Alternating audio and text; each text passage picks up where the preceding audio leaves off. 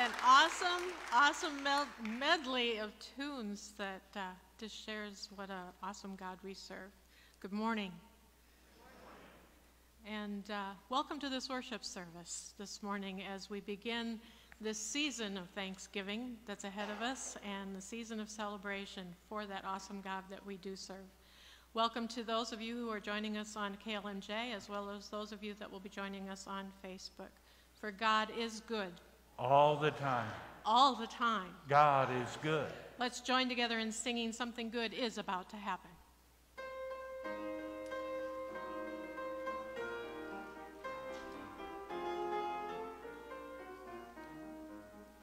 I just feel like something good is about to happen. I just feel like something good is on its way. He has promised that he'd open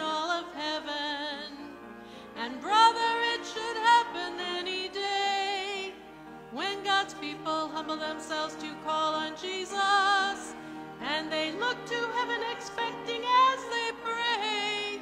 I just feel like something good is about to happen, and brother, this could be that very day. Let's join our voices together in our call to worship. Praise the Lord, praise the Lord from the heavens, praise him in the heights. Kings of the earth and all peoples, princes and all rulers of the earth, young men and women alike, old and young together. Let them praise the name of the Lord, for his name alone is exalted. His glory is above earth and heaven. Praise the Lord. Let's join in singing together our first hymn, number 131, We Gather Together.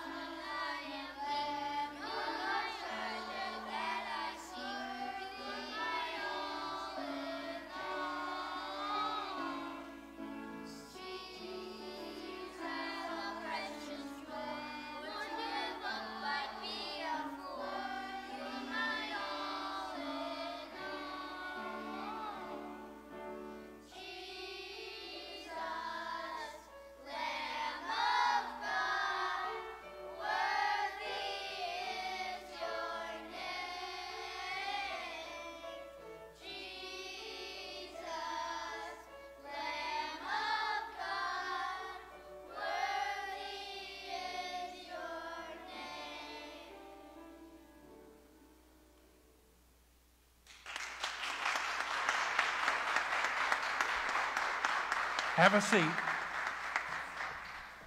But make room for me. Make room for me. Somebody over here. Okay. You're the only one that would let me sit by you. I guess you did too, didn't you? Wow, that was great. The first one you sang was about what? Giving thanks.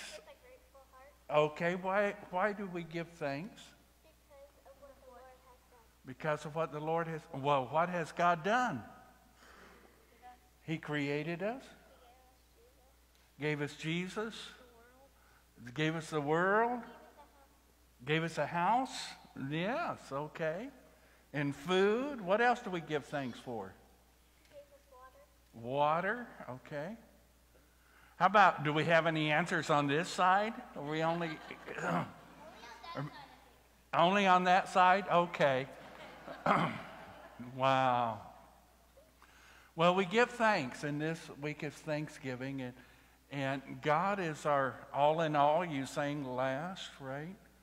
And that we trust God. Later, I'm going to talk about things that, well, I call them idols, things that come between us and, and God, but it's kind of a story form, so I'm not sure if we're all going to get it or not.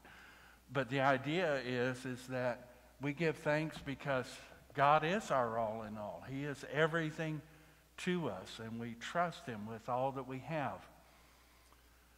But we have to be careful not to give things away, too many things, some things. And the reason I'm wearing a mask today, I said I was only going to explain this once, so I didn't explain it to people. And I'm wearing a mask and not shaking hands because yesterday I went to the grocery store and several different people stopped me to tell me that they had colds. they were so nice. And uh, so I, I'm trying my best since I'm traveling around not to share anything if I happen to pick up germs or anything. But, you know, it is a reminder that this is the time of year. It's, uh, we should do it all year. We should share, but we need to be careful what we share, don't we? all right, let us pray. Heavenly Father, we do thank you. We thank you for all things that you give us. We thank you most of all for that you give us yourself. Help us to always put you first, to see you as our all in all. This we pray in Jesus' name. Amen. And maybe while you go and be seated, we can sing Jesus Loves Me.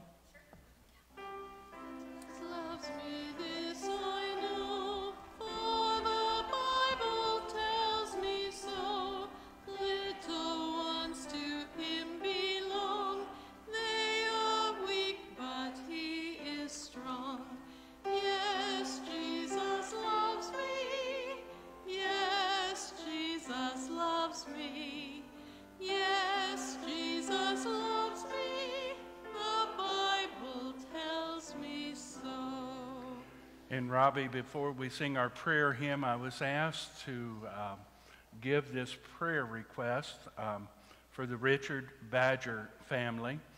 Uh, Dick Badger was the uh, father of Vicki Heron and has passed away, and she asked if we would announce it because there are many people that would know the, the family and would ask for your prayers for them. Let's prepare our hearts for a time of prayer as we sing together hymn number 2071. We'll sing it twice. Jesus' name above all names.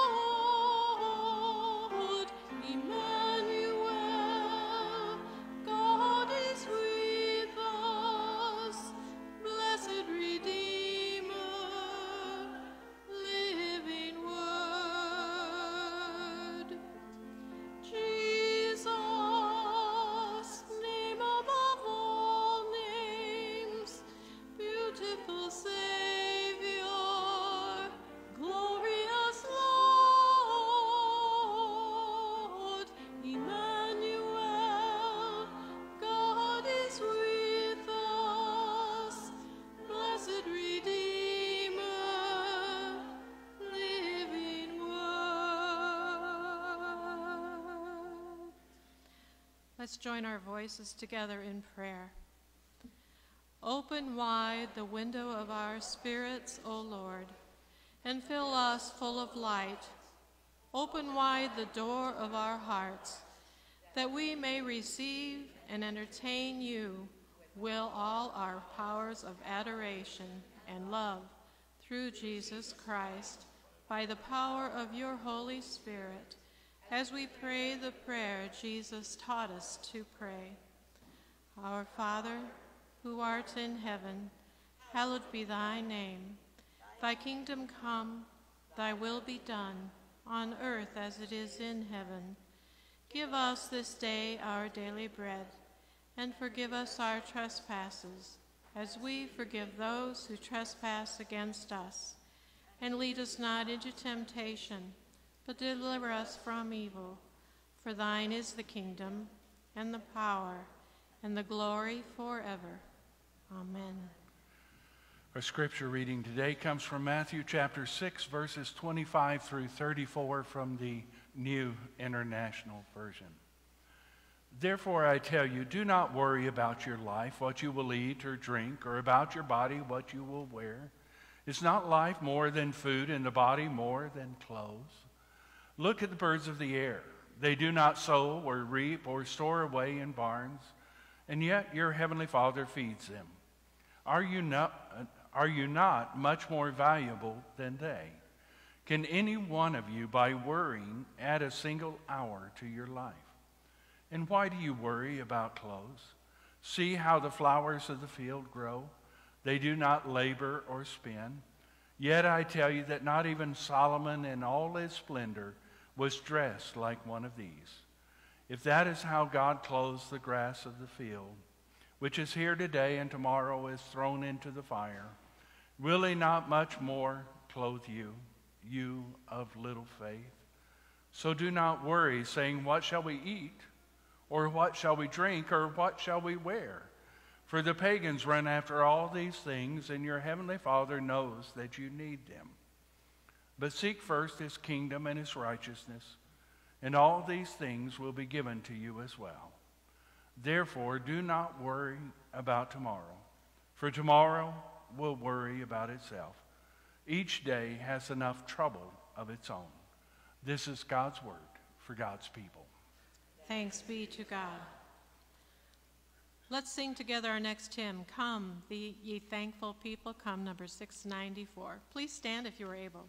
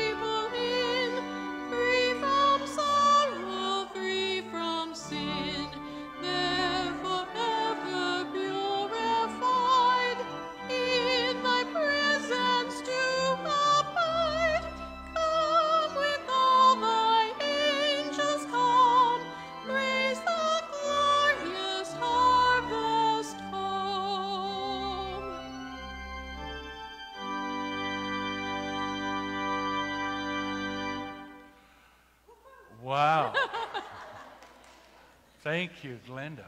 Wow. Isn't it nice to hear the organ? Yes. I was supposed to tell you that after church today, downstairs, there's still items from the UMW Bazaar, and you can pick them up for a steal or for cash. Let us pray. Hear, O Hampton, the Lord our God, the Lord is one. And we must love the Lord our God with all our heart, all our soul, and all our strength. We join in, O Lord, with your people in praying the Shema, the Jewish morning prayer. Yet, like your people of old, we too fall short in living that total commitment. Forgive us, O God. Teach us new ways to follow the leading of your Spirit as we endeavor to rid ourselves of the idols that would captivate our attention, of the good intentions that would distract our worship and service of you alone, of the worries that would freeze us into the status quo. Energize us, life giving Spirit, to seek first the reign of God in our lives, our church, and our world. Give us the grace to hear your word in the gentle whisperings of the Holy Spirit within. And give us a love to let all, all other, other words sift away. May the words of my mouth and the meditations of all of our hearts be acceptable in your sight, O Lord, our strength and our Redeemer. Amen. From time to time, I try to do sermons in a little bit different fashion. Today is one of those, so I apologize in advance because I have to stick really close to my manuscript because this morning we're going to take a trip. A trip into the twisted mind of your pastor. A trip into the pastor's silly way of looking at Bible stories that I hope are familiar. But instead of taking the stories as they happen, I want us to read the lessons from this morning's Matthean passage into other stories. And so, first, we visit the Older Testament story of deliverance as found in the book of Exodus. God has heard the cries of his people for freedom, for a better life with more pay, fringe benefits, and more time off. That's what we all want, right? Now, I know you, think that he called Moses. But before God did that whole burning bush thing with Moses, he called up Pastor No Excuse Too Small and went to a leadership council meeting of the first church of the status quo. God said, I'm tired of the way things have been going. I want to do a new thing, work miracles, show this old world that I'm a miracle working, awe inspiring God. I want to send you back in time to set my people free from the bondage of Pharaoh and Egypt. Pastor, no excuse too small, cleared his throat, stalling for time, and finally said, Well, you are God, and we say that we follow you, but before we just up and go, we need to check this out. We need to have a feasibility study to study all of this. Yes, said the Church of the Status Quo finance chair. I've never traveled back in time, so I'm not sure of the exchange rate. But I can't imagine it would be very cheap to lead a couple million people to freedom. Do you think just because you're a God that you can feed them with bread and meat from the sky in the middle of nowhere? Oh, God said, I think that might be arranged. Well, even so, said Mr. Finance Chair. I think if you check your Rand McNally, now everybody who's younger will have to ask somebody older what that is. That is desert country. And if my history teachers were any good, I don't think there were any McDonald's or Casey's or Quick Starts along the way. Just where do you propose that we find water for all those people? Do you really think you can just make water gush out of rocks? As a matter of fact, God said, I've been known to do a few water miracles in my time.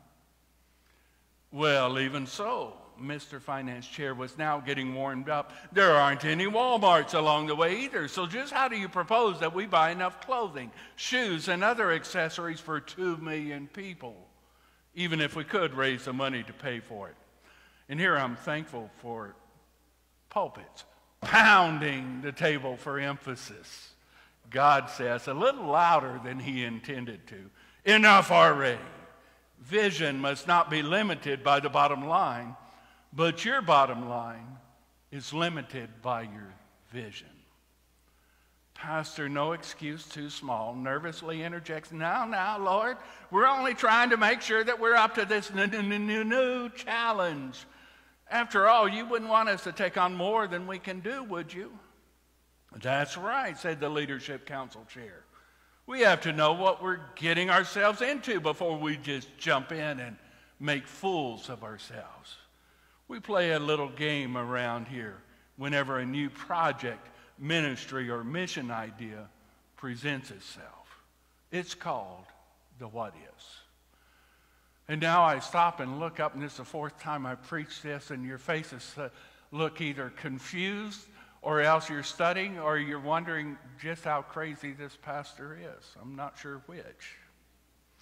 But you don't need this pastor to tell you about the what ifs because we are good at playing the what ifs. What if the sun doesn't shine on the day of the church of the Beeds Lake worship service and picnic? What if gas prices continue to rise and we can't afford to heat and cool the church to the temperatures to which the people have grown accustomed? What if this silly preacher we have continues to stay and preach sermons like this one? Or the opposite, what if this silly preacher leaves and we get one that's even crazier? Well, you can scratch that because there aren't any preachers any crazier than this one. But that doesn't stop us from playing the what ifs. We continually find reasons to worry. That's human. But it's what we do with our worries that makes the difference. In the Older Testament book of Daniel, Daniel and his three friends were, were young slaves in Babylon as slaves being trained by the government. Their diet was set by the Babylonian Food and Drug Administration. I'm sure you've read that in your Bibles, right? However, there was just one problem. It wasn't kosher, but Daniel and his posse were. Put God to the test, says Daniel. Feed us kosher food and see what happens. Then later on in the book, Daniel's posse refused to bow down to Nebuchadnezzar's idol. I think they probably got tired of spelling his name on official government issued documents. After all, it was a lot harder with hammer and chisel and stone than it is today with computers. Bow down or I'll throw you in the fiery furnace, O King Neb growled at them. But Shadrach, Meshach, and Abednego answered, Put our God to the test Whatever happens, happens, but we won't bow down.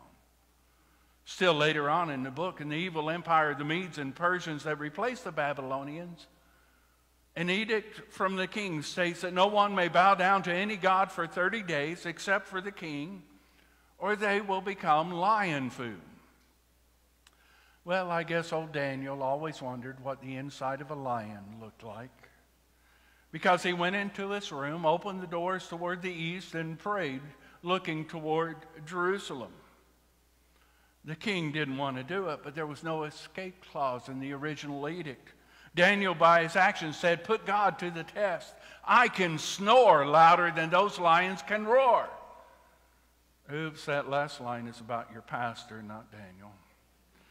Aren't you glad I don't sleep through my sermons? Of course, you know the rest of the story. God came through. The kosher food made the Hebrew slaves look sharper and do better on the test than their Gentile counterparts. God came through as Shadrach, Meshach, and Abednego ate s'mores with the Son of God, while the guards who threw them in the fiery furnace died of heat stroke. And God came through as Daniel used the lions for pillows as the king stayed up all night praying and worrying over what he had done. Aren't you glad that Daniel, Shadrach, Meshach, and Abednego knew what to do with the what ifs? They took them to God and just kept on doing what is right. Of course, if they hadn't, this sermon would have been considerably shorter, so maybe you aren't so glad that they knew what to do with the what ifs. So, what about us? Are we ruled by the budget or the bottom line? You would have received by this time pledge cards and been asked to return them. We ask you to consider the budget for next year and what you can give. Truth of the matter is, you know, we decide whether we're ruled by the bottom line as a church or not. Or are we hampered by the what ifs? Those, I believe, are the questions that are, are raised in Jesus speaking in Matthew 6. Those who worry about what they will wear or what they will eat. Those who are ruled by the bottom line or budget are constantly wondering if God can provide for the ministry that God has called us to do. From the very first time I came, I said it. I have always believed, and I will continue to believe until God lets me down, that if we are spiritually where God wants us to be and we are doing what we really believe God wants us to be doing, God will always provide the means to do it. The bottom line of the budget is not the bottom line in ministry or mission. Our vision should not be limited by our bottom line, but our lack of vision can limit our bottom line. Why should God entrust us with resources if we aren't going to use them to enhance the kingdom of God on earth? I'll say that one again. Why should God entrust us with resources if we aren't going to use them to enhance the kingdom of God on earth? Now I dare you to say amen to that one. No, actually, I dare all of us to say amen with our pocketbooks. Or maybe we feel more like saying ouch from time to time. Too many times we become hampered by the what ifs. In my mind, the what ifs are just another way of saying we can't trust God to do what God says God will do. Try saying that three times fast. Don't get me wrong. I'm not talking about being unrealistic. I'm not talking about failing to take the time to count the cost. I'm not talking about being absurd. I am talking about believing in the God who can take chaos and nothingness and create the heavens and the earth. I am talking about believing in the God who can take a ragtag family of slaves and overthrow the most powerful kingdom on the face of the earth as God leads his people out of bondage. I am talking about believing in the God who says love can overcome the power of hatred and bigotry and violence. I am talking about the God who has proven faithful through the history recorded in the Bible, through the, his church down through the ages, and yes, through the Hampton United Methodist Church. I am talking about believing in the God who says, Put me to the test. Seek first the kingdom of God and his righteousness, and all these things shall be added unto you. A church with too many gods, a church that is ruled by the budget and hampered by the what ifs, a church that is it's a church that is left with no energy or time to seek the kingdom or reign of God. What God do we serve? Do we serve the God of the impossible? The God who says over and over again, Put me to the test and see if I can't provide? Or do we serve the gods of the status quo, the shrinking vision, and play it safe? The choice is always up to us. I believe that God has a future for His church. I believe that God has a future for his church in this area, in this church. Will we be a part of that ever enlarging future that God gives? The choice is ours. Let us pray. And as a part of my prayer, I want to draw upon a hymn. Source and sovereign rock and cloud, fortress, fountain, shelter, light, judge, defender, mercy, might, life is life, all life endowed. May the church at prayer recall that no single holy name, but the truth behind them all is the God whom we proclaim.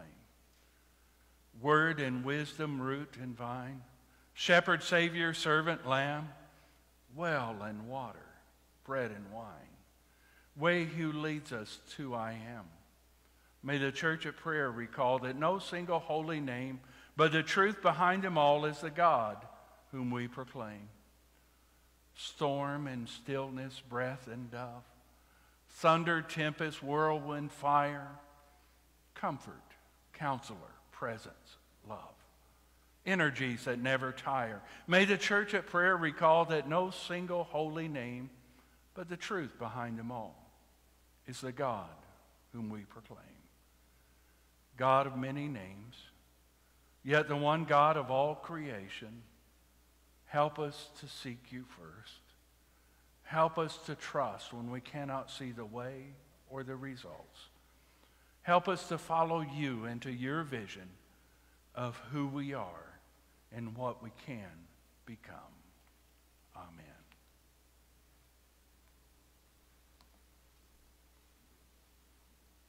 Let's join our voices together in singing our next hymn, number 102, Now Thank We All Our God. Please stand if you are able.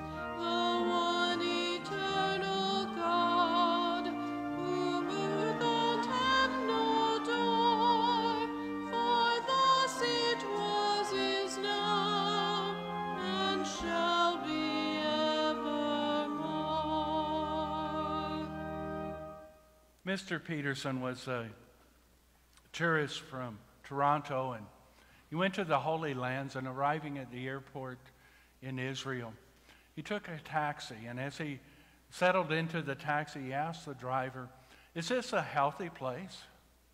Well, the taxi driver said, Yes, it is. As a matter of fact, when I came here, I couldn't say a word. I barely had any hair, and I didn't have enough strength to walk from room to room. I had to be carried in and out of bed. Peterson said, Oh, well, how long have you been here? The driver said, I was born here. it's a matter of perspective, isn't it? It's a matter of focus. Rather than focusing on all the reasons why we can't, we should focus on the reason we can. The God who has said that he would be with us So, so this day and this week, let us go. Let us go and follow Jesus as we live God's message of life, love, and hope for all.